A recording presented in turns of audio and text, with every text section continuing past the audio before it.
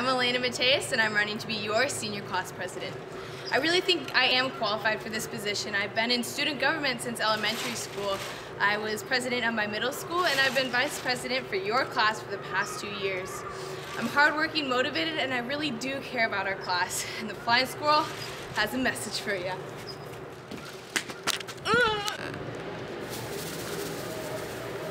What's up, Carlmont? It's your girl, the Flying Squirrel, here with your daily announcements, and I have a personal message from the Flying Squirrel herself. It's time to go nuts. Now this could be a story all about how Monk got turned so upside down. And I'd like to take a minute, so just watch this here, then you'll know what I vote for Elena next year.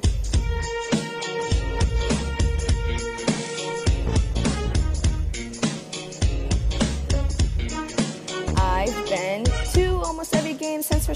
You can find me in the screaming Scots cause I like to cheer.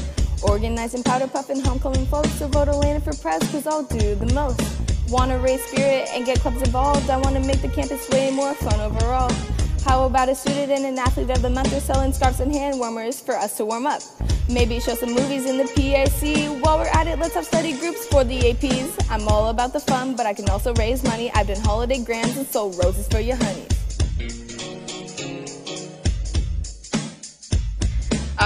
That's all for your daily announcements. Have a great day, and don't forget to vote Elena Mateus for senior president.